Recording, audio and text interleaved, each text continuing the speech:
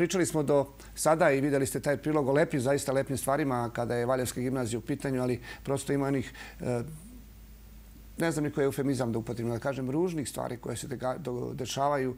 Jedna od njih je svakako to što se događa sa košarkaškim klubom Metalac, e, koji čini mi se davi se, davi se već nekoliko godina unazad. Pred svaki početak lige, pred svaki prelazni rok, tako je bilo prošlog septembra, tako je ovaj, razmišlja se o tome da li će uopšte postojati košarkaški klub Metalac. Dokle je došlo, tako izgleda sada sve liči. Šta može da se desi u dan dva, čini mi se dan dva, u sredu i četvrtak je prelazni rok, bit će još jedan kraći. Sutra bi već trebalo da košarkaški klub Metalac dobije trenera, ali u košarkaškom klubu Metalac para nema jer je račun blokiran. Moji gosti, u jutarnjem programu, kada je ova tema u pitanju, Mihajlo Poček, predsjednik Košarkaškog kluba Metalac i Vojislav Kecović, član upravnog odbora Košarkaškog kluba Metalac i član proslavljene generacije Metalca koja je i Valjevo, zahvaljujući svakako Metalcu, stavila na mesto na kome mu pripada. Sada se na sve to što se događalo sa Metalcem, pretpostavljeni i stariji igrači, koji su deo svog života i mogu slobodno reći ceo život posvetili ovom košarkaškom klubu, razmišljaju o tome ne šta je bilo, već šta se može desiti. Posle 72 godine postojanja ovog košarkaškog kluba, sva je prilika da može lako da se desi da košarkaški klub Metalac, najtrofejniji klub u Valjevu, više ne postoji. Dobar dan i dobrodošli. Evo, ovo je, ovo je kratka, kratka najava za naš razgovor. E, Mihajlo, napred sa vama. Vi ste u prošlog petka imali skupštinu i upravni odbor. Ne skupštinu, nismo imali, samo smo imali razgovore po pitanju daljeg e, opstanka metalca, jer se nalazimo stvarno u jednoj veoma teškoj situaciji koja se u zadnje četiri godine već treći put događa. E, vi znate da je 2016. godine postala jedna prazdina i da se nije znalo šta će biti sa metalcem, da je se u zadnjem trenutku 26. septembra održala ovaj, skupština da je Duško Đukanović prihvatio e, ponovo da bude predsjednik metalca i ja sam e, postao trener i za veoma kratko vreme imali smo samo dva igrača, Brano Đukanovića, tri igrača, Brano Đukanovića, e, Đukana Đukanovića i Aleksandra Vasića. Za kratko vreme smo napravili neki tim i opstali u ligi što nam je bio e, cilj, a bilo je veoma teško.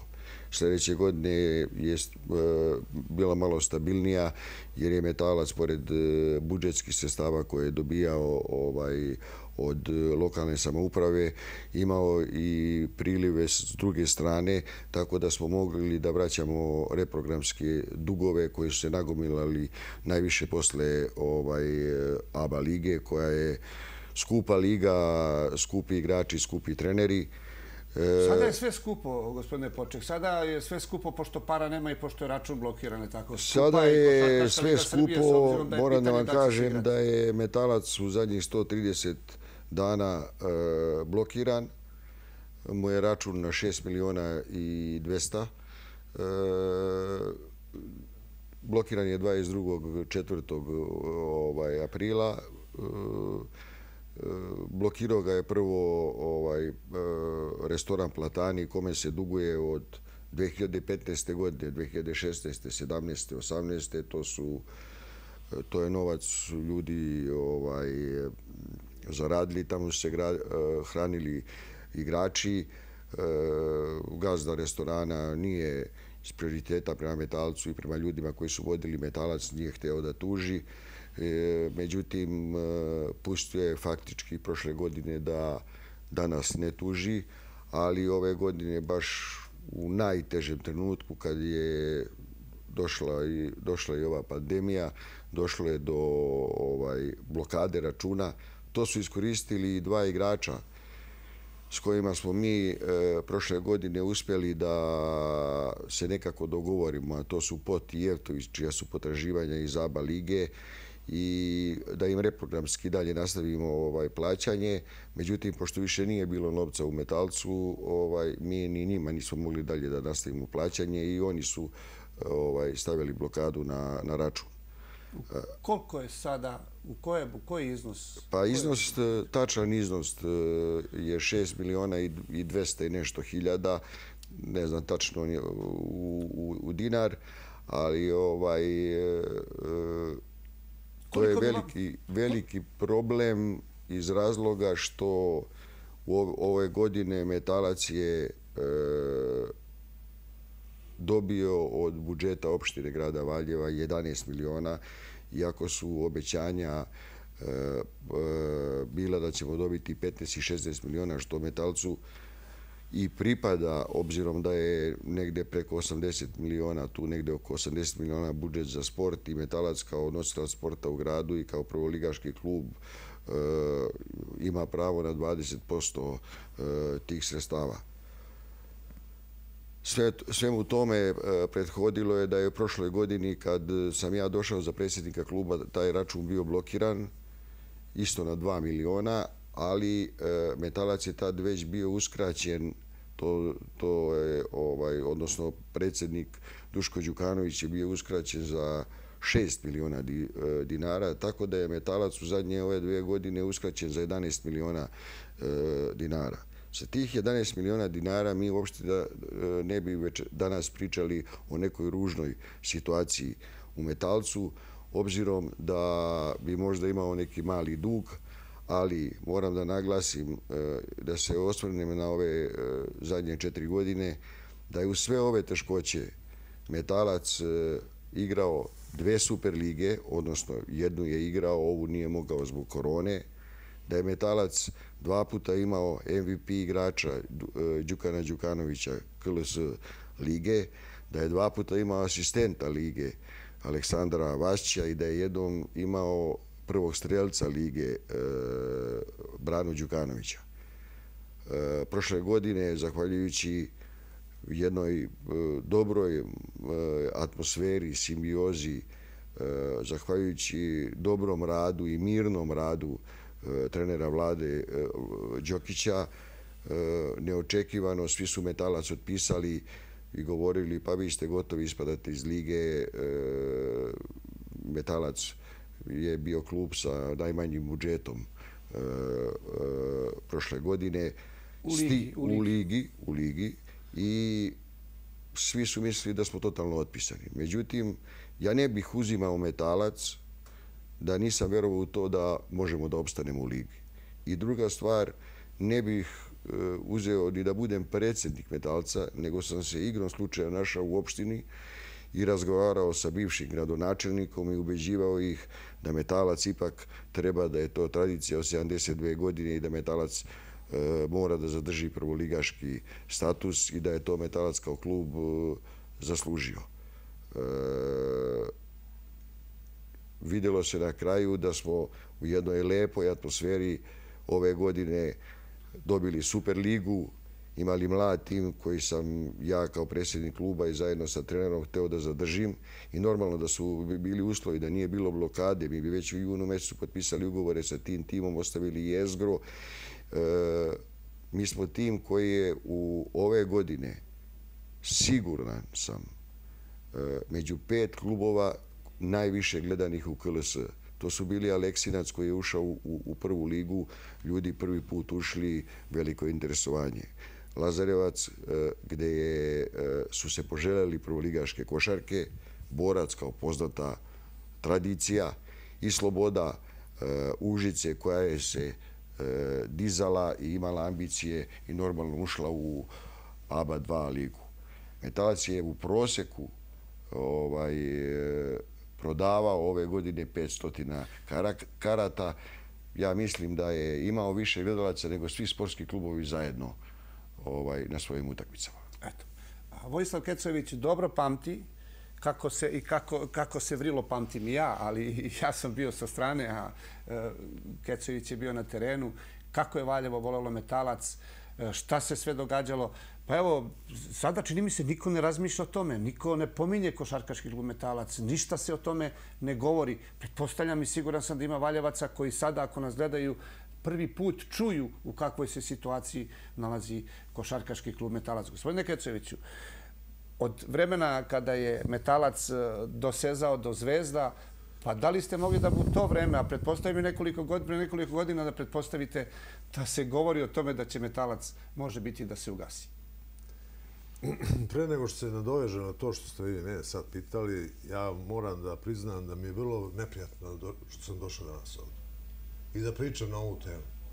Ja sam obično dolazio oko tebe, Lučo, na, na, u emisije i pravili smo priloge neke tamo i filmove i šta ja znam o metalcu, povodom jubileja metalca i tako dalje.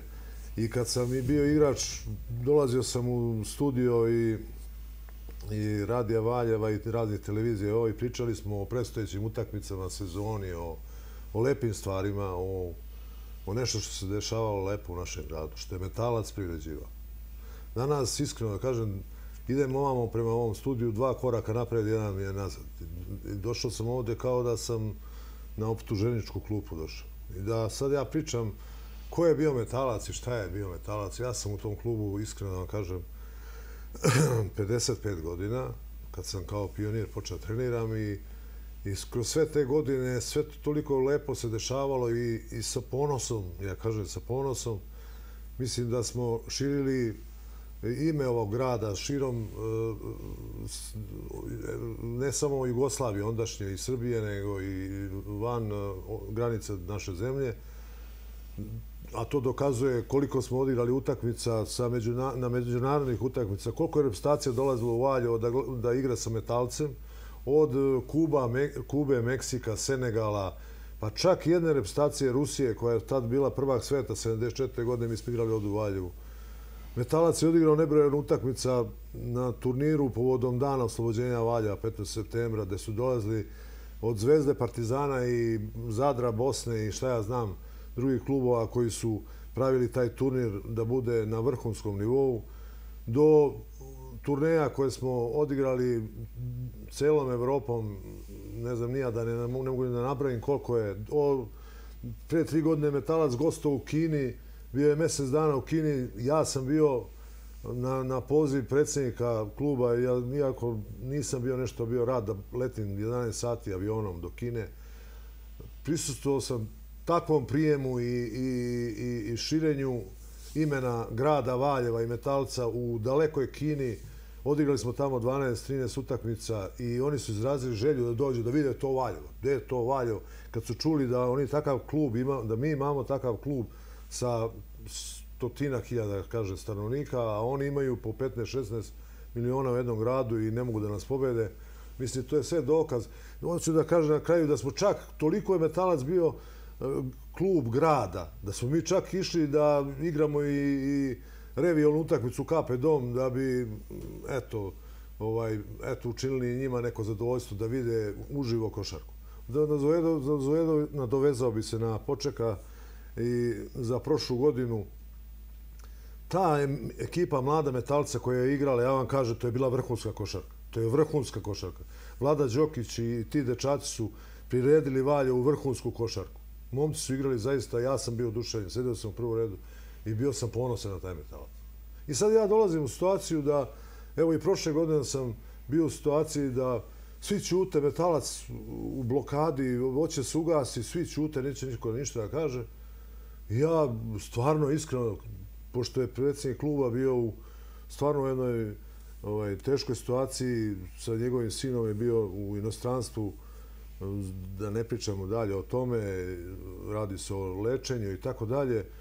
Ja vidim da niko ništa ne pominje metalac, primaklo se još ostalo 20 i nešto dana do početka lige. Novinar napreda koji je zadužen za to neće da piše o metalcu. Ja ga zamolim da napiše o metalcu šta se dešava, on navodno ima neki razlog zašto neće da piše. Ja zamolim Čiru, Slobodana Čirića iz napreda i on zaista stvarno napiše jedan divan tekst u kome pozove na kraju u zaključku, pozove grad, pozove ljude, Valjevo, pozove i jednostavno postavi jedno pitanje da neko mora, neko mora položiti račune i gradu, i navijačima, i samom klubu, zašto se klub gasi. I na tu moju neku inicijativu i, i molbu njemu da to napiše, ja sam imao razgovor sa gradonačnikom prošle godine, I kad sam ja to izložio da je šteta da se jedan grad ugasi koji ima tradiciju, tad bilo 71 godina. Ja ga nisam molio, mislim, ako hoće. Ja nemam nikakve veze, ja sam tu član upravnog odbora, možda sam i figurativno. Ja da sam tu u klubu, eto, kao neko ko tu je proveo 55 godina, imam pravo. Ali ne mešam su rad, nikad nisam ništa tu nešto bio pitan, niti, niti se ja tu nešto ni laktam da ja tu... Ja na, moj, na moju opasku da je šteta se klub ugasi, on je bio prisutan i njegov savjetnik, inače bio zamenik eh, predsjednika Skupštine, je tu sedeo na moju opasku da je šteta se gradu, o meni kaže, a što je šteta? To me je porazilo i porazilo me to da, da sam ja morao to da kažem da je tad grad, pre svega Sportski savez, koji je proglasio našeg igrača, našeg eh, kapitena, najboljeg igrača KLS lige, Đukana Đukanovića, koji je imao neku neprijatnost sa nekom bolešću kojom se borio u inostranstvu, nisu se setili, nisu se setili da ponude, da naprave gest dobre volje da mu pomogne u delom nekim sredstvima da, da mu pomognu da mu olakšaju to, to leče. Hvala Bogu, ozdravio je dečko, nije mu treba, nije ni dobio tu pomoć, ali to me je jako pogodilo. Taj odnos prema metalcu. I što grad čuti? A čuti zato što niko se ne oglašava. Ljudi ne znaju, sretno me na ulici, I kad čuju da se metalac gasi, ljudi su šokirani. I meni je ovdje neprijatno. I meni je ovdje neprijatno. Neprijatno mi je da se klub gasi zbog nekih, da li je to 5-6 miliona. I ovo što je rekao Poček, on je tu doveden na nagovor, ajde, mene su zamolili da, da oni su jednostavno stavili ultimatum ili Đukanović ili klub, ili nema ništa. I mene e, predsjednik zvao iz Bolonje i pitao Kele, čujem da ste imali neki problem tamo, da ste imali razgovor. Nek... Dule rekao, gotovo je, ili ti ili klub, gotovo je, nema tu šta diskusije. Oni su tradan podne ostavku. Odnosno, on je rekao, pa ja nisam u klubu, šta sad, prave problem oko toga. On je poslao tu svoju ostavku i Odnosno, to je bilo utorak, prošle godine, 4. septembra, ja to sve pamtim, u subotu je bila skupština. I onda su neke stvari polako počeli u tom smislu, u finanskom smislu da se rešavaju. Ne, ali je, on je, njemu je obećano da će biti rešavan, ali nije rešavan. Mora je poček da reši pitanje, privatno je morao se da moli ljude da se zadruži. Metalac je prošle godine imao budžet od 6 miliona 800 nešto hiljada, mjesto da ima 15, 16, on je dobio 6. Ove godine, mjesto da dobijemo 15 miliona, mi smo dobili 11. Mi stalno nešto hranimo, stalno smo u nekom problemu. Stalno ima metalac problem, ne možeš dobiješ jednu salu. Ja zamolim predsjednika Sportskog savjeza da se oglasi Sportski savjez. Ne se oglasi i negativno protiv nas. Ne, kažu šta imaju za metalac. Ja imam razgovor sa predsjednikom Sportskog savjeza. On, ne, on, se, on nije sebi udostojio da mi se javi telefonom da kaže Vojo, ne mogu da ti to uradim. Ja tog čovjeka nikad sam vidio godinu dana. Nisam ni prije toga vidio. Ja nemam pojma neko šta, šta on radi tamo. Ja se kažem, taj sportski savjez, to je Valjevo. Taj sportski savjez usvojio, ne sportski savjez, grad Valjevo usvojio strategiju razvoja sporta za pet godina od Valjevo do 2016. do 2020. godine. U toj strategiji po zakonu o sportu, pre svega, e, kad se usvaja ta strategija, tu se bazira na školski sport, rad sa decom, e, školska takvičenja i tako dalje, da ne ulazim to. Drugi segment je e, infrastruktura. Infrastruktura, što je I treći je vrhunski sport. Mi u Valjevu to nemamo. Jedino vrhunska ekipa to je Metalac, koji je najviši rang takmičenja. To je peti rang takmičenja. Nema više. Jedan gospodin, da ga ne pominjem, bivši funkcioner, izjavio kako Metalac treća liga. I kad smo ga pitali, ako šta je, kako treća liga, pa kaže, aba liga, super liga. Eto koliko mi znamo, gde se Metalac nalazi. I sad ti u toj strategiji razvoja sporta u gradu, To je, neću da ulazim u školski sport, pretpostavljam, ja neću, ne ocenjujem niči rad, hvala Bogu, verovatno se nešto je radilo, ne pove, nego je šta me zabolo? Infrastruktura nije od 2012. godine kad je napravljena hala na studentu u Valjevu, nije napravljen nijedan objekat. Nije ploča napravljena. I mi sad, kao, kao klub, ne možemo priđemo u jednoj školi. A zameralo vam se, ako se ne varam, i to što ne plaćate što ne plaćate halu sportova za, za, za treninge. I to mi je data opaska. Znaš ti, kaže, da, da metalac ne plaća dinar za korištenje hale sporta. A ja pre 70, pre 49 godina, ja i, i Nikola Jevremović i moj pokojni brat i Čeranić i još tamo neko društvo, bila neka radna akcija, mi rušimo 15 da bi oni što pre napravili halu. Ne kažem ja, to napravljeno od metalca. Meni je žao i rukometno klub, muškog, ženskog, nije bitno koje. Oni nemaju halu valje. Pa i ta rukometna sala koja je u Valjevu, gde mi, oni igraju, igrači sede maltene na outrini. Na terenu. Ne, to, je, to, je, to je tragedija. Da Valjevo nema halu sportova. Ima mi, evo, Mionica je sad napravila, ima Lajkovac, ima Osečina, ima UB. Mislim, neće ja, ne zameram ja, ima tu, bilo to možda nekih problema ili su to bile možda neke politički marketing i tako dalje, pravilo se, otvaralo se, zatvaralo. Ali mene boli to što mi u jednu školi, sve su sale malo veće od učionice. Mi ne možemo da priđemo na jednoj, ni jednoj sali. Gde god dođemo da, da treniramo, ne možemo da treniramo mlađe kategorije, moramo da imamo termin 8 sati uveče. Ko će pustiti dete trenira u 10 sati uveče? Sve je zauzeto. Niko ne daje, zato što plaćamo preko računa. Mi ne naplaćujemo ni jedan jedini dinar deci. Ja možda vas zamaram s ovim, ali vam iskreno kažem, tretman metalca je katastrofa u ovom gradu. Ne grada kao grada, nego ljudi koji odlučuju o tom. Ljudi koji odlučuju. I došlo se sada do toga da je u sredu, u sredu i četvrtak je prelazni rok. Sutra bi valjda već košarkaški klub trebao da ima trenera koga nema i da bi se krenulo u ligu. Šta to znači? Vi ste u blokadi, ne možete da dovedete nikog, jer niko neće da radi za džabe, ili tako? Koliko vam je potrebno? Negde oko 4 miliona, ja samo ponovit ću tu cifru. Koliko vam je potrebno da izađete iz toga? To je 35.000 pa, evra. Iskreno rečeno, od onog trenutka kad smo mi bili blokirani e, i u stvari kad se završila liga, to je bilo 15. marta, Mi smo imali i takve ugovore da su svima u klubu istekli ugovori, sem jednom igraču koji je imao višegodišnji ugovor s nama, to je Stefanović, mladi igrač iz Kraljeva. Međutim, na, na, ovaj, na do, zalaganje i energiju eh, čoveka koji je nama eh, pomogao, termosistem, pomogao eh, pri odblokiranju prošlogodišnjeg računa, i uz pomoć Đokića i ja sam pristao na to.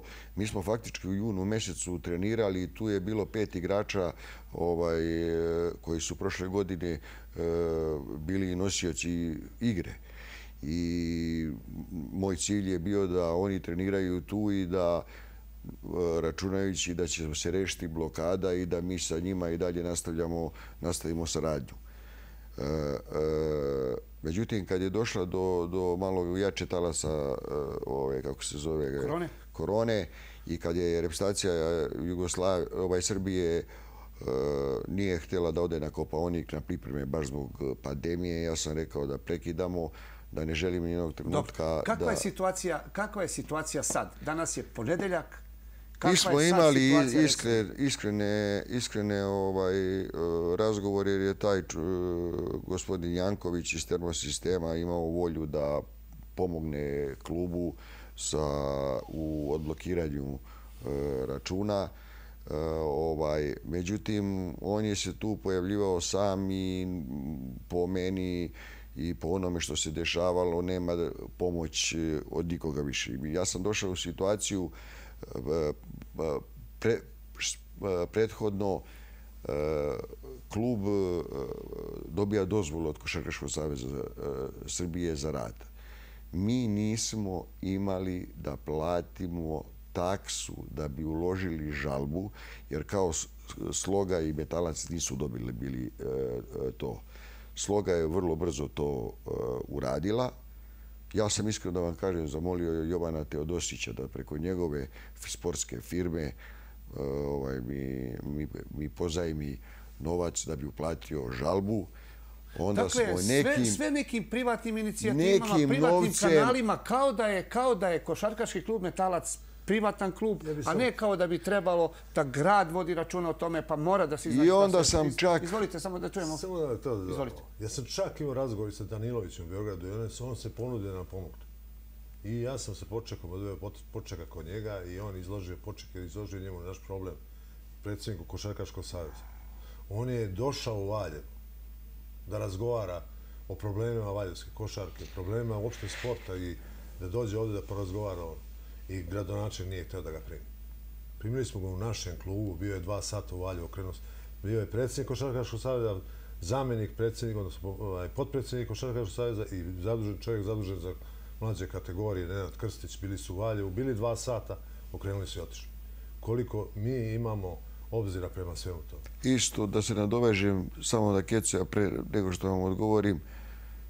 Saša Danilović, tražio sam razgovor sa Valjom Udovičićem i otišao sam sa predstavnikom opštine Miroljubom Ivanovićem na sajan sporta gdje me je on spojio sa e, Vanjom Udovičićem, Peruničićem i celokupnom ministarstvom sporta. Počeli smo da pričamo o metalcu. Normalno, ministar je rekao da ministarstvo ne može da direktno ono pomogne klubovima, ono daje savezima, pa savezi onda dele ali smo se, sam se ja dotakao one priče koje Keco je već e, započeo da u Valjevu nema dovoljno termina, da je hala stara preko 50 godina i da nemamo uslove za razvoj sporta kakve bi trebali da imaju. E, na čemu je on odgovorio da ovaj, e, su se dolazilo sa nekim megalonomskom halama i idejama i ovo ono i rekao u skromnim uslovima u Valjevo i ovo za tri godine moglo bi da ima halu od jedno tri do tri i po hiljade gledalaca koja bi sigurno koja bi sigurno rasteretila e, i ovu postojeću staru halu i e, školske sale Međutim, jednostavno... Ovaj... Do toga nije došlo. Ali, gospodine Poček, dajte molim da se vratimo na ovo. Šta čeka metalac naredna tri dana? Recite nam konkretno kakva je situacija. Pa, konkretna situacija je status quo nemamo novac za, za odblokiranje. Uz pomoć, e, dosta e, mi je pomogao, pomogao FNP i Crvena zvezda koji su pomagali metalcu u ranijem periodu i gospodin Nebojša Čović. Ovaj, on je uspio, na primjer, da, da, da sporazumno napravi neki sporazum sa Jeftovićem da, da smanji taj e, njegov dug.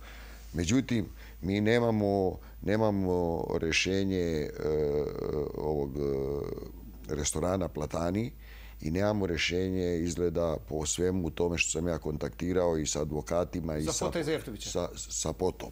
Jeft, Jevtović je, je pristao dobro, na saglasnost. Dobro, ako nema tog rešenja, ako ne može da se nađe rešenje, sutra bi trebalo, rekao sam to, dajte da konkretno, sutra bi trebalo dakle, da Valjevo, da Košarkaški klub Metalac dobije trenera, je tako? U sredu i četvrtak je prelazni rok. Ako ne bude toga, šta onda? Je se gasi tako Metalac? Ako ne bude toga, ja, e, ja sam uh, uh, mogao da počnem da, da izaberem trenera i pre, ne da izaberem, nego najveći prvi pik bi je bio i trener koji je vodio prošle godine, Vlada Đokić. Ovaj, mi smo mogli da počnemo da radimo, mi smo mogli da, da treniramo. Čak su u junu mjesecu dolazili neki igrači na probu mene non stop obasipaju po mailu i Facebooku i telefonski igrači koji se nude da igraju u Valjevu jer znaju da, da u Valjevu se razvijaju, da valjevska publika voli košarku, da je Valjevo grad košarke. Ali ja nisam smeo da uđem u nijedan e, rizik zbog toga što sam pod blokadom, znači da na, na ovu blokadu i na ove e, ova dugovanja pravim nova dugovanja. Dobro, šta se dešava? Treći put vas pitam, šta se dešava? Šta se dešava? Razgovarali smo, razgovarali smo, ostaje nam ova dva dana da ako budemo uspeli da e, nađemo neki dogovor ili nađemo neki novac ili nađemo neki izlaz da e, makar skinemo tu blokadu. Gospodine Kecviću, šta bi pa vam bio, možda se nađe taj izlaz, šta bi bio pa vam izlaz da se, da se brzo reši ta stvar i da, da nekako se to dovede više da, da, se, da se ne dovodi met, koš, postojanje košačkog kluba metalac u pitanju? Iskreno kažem, ne znam, jednostavno ovaj novi gradonačelnik, on je tek stigao, on nije uopšte kriv, dečko ušao je u tu problematiku pre mesec dana, uopšte te funkcije koja mu je ovaj, data.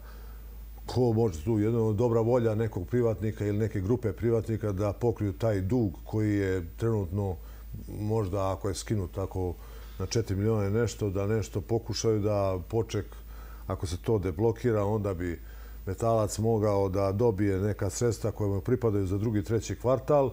Tu je već, eh, onda bi moglo početi da se projadi sa eh, treniranjem i sa pravljenjem ekipe, trener, ovaj, da se za mjesec dana, eto ga i četvrti kvartal, tiče se pravo... da se povuku sredstva za Da se povuku sredstva, da ako uopšte ima sredstava, ne znam, mislim, ja ne znam ja kakva je sad situacija u budžetu, ali kažem, to su jedine opcije da da neko ima dobru volju i da, da dođe i da pomogne metalcu sa finansijskih sredstva sa strane. Inače, Ja koliko sam iz saznanja sa razgovor, u razgovoru sa gradonačelnikom i, i sa ostalima iz, iz grada, mrka kapa da tu nešto može biti. A to je ono što vi insistirate, ne bude li toga metalac se gasi. I to je tačka. Ja više nemam šta da vas pitam. Dakle, to je, to je ono što jeste, poenta čitave priče jeste to da li je moguće da će neko dozvoliti, da će se dozvoliti da se metalac ugasi. Ja se zaista iskreno nadam da se to neće dogoditi. To je bila bruka pre svega za grad, a da ne pričamo o ljudima koji su ostavili svoj život za 72 godine upravo i poklonili svoj život košarci i valjevskom metalcu. Upravo tako. Pa, dogod postoji nade, treba se boriti. E, danas i ona je od ozgo pogleda kao što nas je pogledao i prethodno dva puta. Da li će se to desiti sada? Ja se nadam da će se desiti i moram da verujem u to jer stvarno bi bilo bila katastrofa bez obzira ko je predsjednik, trener, koji su igrači da se ugasi ovaj košarkaški klub Metalac. Jer ugasiti tradiciju 72 godine i sve ovo što smo nas dvojica ovdje ispričali, što su vam mnogi igrači i rukovodioci i treneri ispričali kroz ove niz godina, sve je jasno. Da, sve je jasno i za sada još ništa nije jasno što se tiče opstanka Košarkaškog kluba. Hvala vam, gospodo, na učešću u tene programu. Hvala vam na iskrenosti i na svemu. Hvala vama što ste nas saslušali. Hvala i pa vama. To nam je posao da vas saslušamo. Volimo ovaj grad i svakako volimo Valjevsku košarku. Hvala vam još jedno. Idemo na reklamu.